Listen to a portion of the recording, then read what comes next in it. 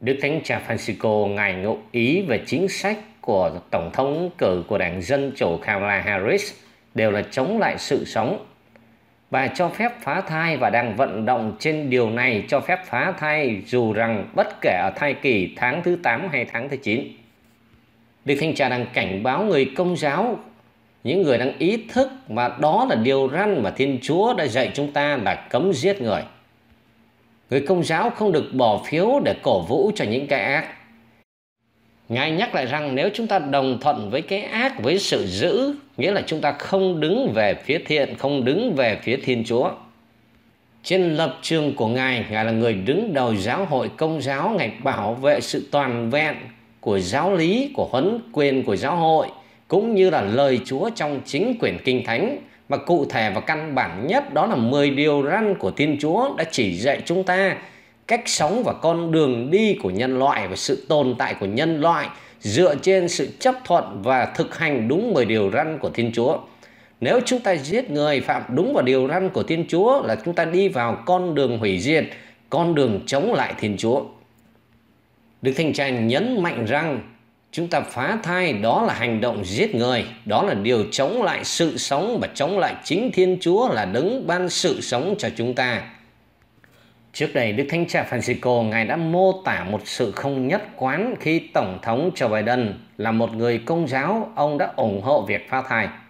Trong cuộc phỏng vấn của Ngài với Univision và Televisa phát vào ngày 12 tháng 7 Đức Thánh Cha Francisco Ngài đã nói về việc phá thai và lập trường của Tổng thống Biden sau khi được hỏi về việc có nên cho các chính trị gia cổ vũ việc phá thai để rước lẽ hay không.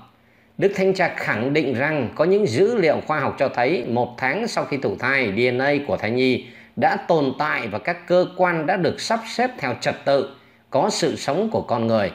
Chẳng phải đó là sự loại bỏ một mạng người hay sao? Ngài đặt câu hỏi. Đối với các hành động bảo vệ việc phá thai của Tổng thống Hoa Kỳ, Đức thanh tra Francisco tuyên bố rằng Ngài để cho lương tâm của Biden phán xét. Hãy để Biden nói chuyện với mục tử của ông ấy về sự không nhất quán đó, Đức thanh tra nói.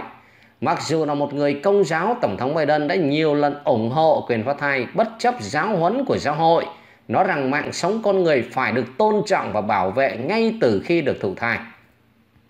Và nay chúng ta thấy vết xe đổ đang tiếp tục ở đảng Dân Chủ khi bà Kamala Harris tiếp tục dùng chính chính sách này để vận động và thu hút sự ủng hộ của những người ủng hộ bà. Trước đây, Tổng thống Biden đã ký một sắc lệnh hành pháp nhằm bảo vệ quyền tiếp cận phá thai để đáp lại quyết định của Tòa án tối cao lật ngược phán quyết trong vụ án Roe kiện Wade là phán quyết hợp pháp hóa việc phá thai trên toàn Hoa Kỳ. Tổng thống gọi đây là thời điểm để khôi phục các quyền đã bị tước đoạt khỏi chúng ta và thời điểm để bảo vệ quốc gia của chúng ta khỏi một chương trình nghị sự cực đoan trái ngược với mọi thứ mà chúng ta những người Mỹ tin tưởng. Vào tháng 9 năm 2021, Tổng thống Biden cho biết ông ta không đồng ý rằng sự sống bắt đầu từ lúc thụ thai. Tôi đã và đang tiếp tục là một người ủng hộ mạnh mẽ cho phán quyết Roe kiện Wade. Ông nói tại tòa Bạch Ốc khi trả lời câu hỏi của một phóng viên về vấn đề phá thai. Tôi tôn trọng họ, những người tin rằng cuộc sống bắt đầu từ thời điểm thụ thai và tất cả. Tôi tôn trọng điều đó. Không đồng ý nhưng tôi tôn trọng điều đó, ông Biden nói như vậy. Đức Hồng Y Wilton Gregory của Washington đã bình luận ngay sau đó rằng giáo hội công giáo dạy và đã dạy cụ thể rằng cuộc sống cuộc sống của con người bắt đầu từ lúc thụ thai. Vì thế Tổng thống nó đi ngược lại giáo huấn của giáo hội công giáo. Đức Hồng Y Gregory nói với một nhà báo vào tháng 11 năm 2020 nói rằng Ngài sẽ từ chối việc cho rước thánh thể với một chính trị gia ủng hộ việc luật phá thai trong luật liên bang và người đóng thuế tài trợ cho việc phá thai. Tổng thống Biden đã hỗ trợ cả hai chính sách này. Vào tháng 6 năm 2021, Hội đồng giáo sứ của giáo sứ Holy Trinity Tiểu bang Washington cũng đã tuyên bố đồng thuận với ý kiến của Đức Hồng Y Gregory liên quan đến các vấn đề xung quanh việc trao mình thánh cho các chính trị gia Hoa Kỳ. Theo tuyên bố cho biết, nhà thờ công giáo Holy Trinity sẽ không cho rước lễ đối với những người tự nhận mình là chấp nhận hoặc là đồng ý về vấn đề phá thai. Là một giáo sứ có bề dày lịch sử đã chào đón tất cả mọi người, chúng tôi đồng tình và ủng hộ đường lối mục vụ của Đức Tổng Giám mục của chúng tôi. Chính Đức Giáo hoàng Francisco, Ngài cũng tước bỏ quyền được rước lễ của bà Pelosi vì bà đã ủng hộ việc phá thai và sẵn sàng giết những đứa trẻ vô tội. Đức Tổng giám mục Salvatore Cordaron, Ngài cũng nói rằng Nancy Pelosi, người cực đoan ủng hộ việc phá thai, sẽ không được phép rước lễ. Trên chuyến bay của Đức Thanh tra Francisco vào ngày 13 tháng 9 năm 2024, lúc 13 giờ 50 phút chiều, Đức Thanh tra cho biết cử tri của Hợp chủng của Hoa Kỳ đang phải đối mặt với sự lựa chọn giữa cái ác nhỏ hơn trong cuộc bầu cử Tổng thống Hoa Kỳ trong cuộc họp báo trên chuyến bay vào ngày thứ Sáu khi Ngài trở về sau chuyến công du gần 2 tuần đến Đông Nam Á, Ngài trở về từ sân bay của Singapore.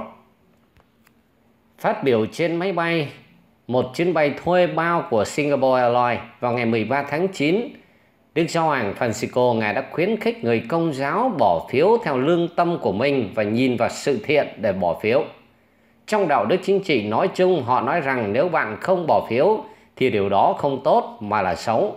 Bạn phải bỏ phiếu và bạn phải chọn cái ác nhỏ hơn. Ngài chia sẻ như vậy bởi Ngài nhìn rõ sự tục hóa của xã hội con người và cụ thể Ngài nhìn thấy những điều đang diễn biến ở tại Hợp chủng của Hoa Kỳ. Nơi đây một xã hội và một đảng phái đang cổ vũ cho chuyện phá thai và hợp thức hóa cho chuyện phá thai, thậm chí phá thai lên đến thai kỳ từ 8 đến 9 tháng.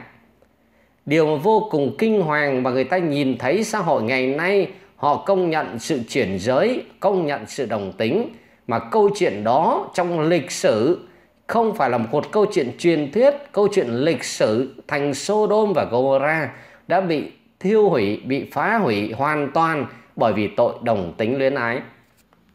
Ngay trong Kinh Thánh mà chúng ta đã biết, trong Kinh Thánh chính là lời của Thiên Chúa đã cảnh báo mỗi người chúng ta. Đừng sống nghịch lại luật của Thiên Chúa, gọi là thiên luật trong 10 điều răn của Thiên Chúa. Thiên Chúa tạo dựng nhân loại này chỉ có hai giới tính nam và nữ. Sách sáng thế Thiên Chúa đã chỉ dạy cho con người như vậy.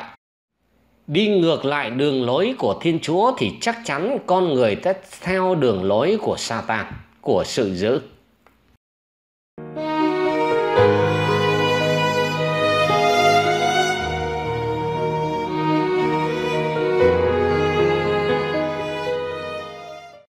Kính thưa quý vị, một chút thông tin kênh xin gửi đến quý vị. Xin chân thành cảm ơn quý vị đã dành thời gian quý báu để lắng nghe, cũng như dành thời gian để nhấn đăng ký và thích kênh, để quý vị có thể nhận được những video mới nhất từ kênh. Xin trân trọng.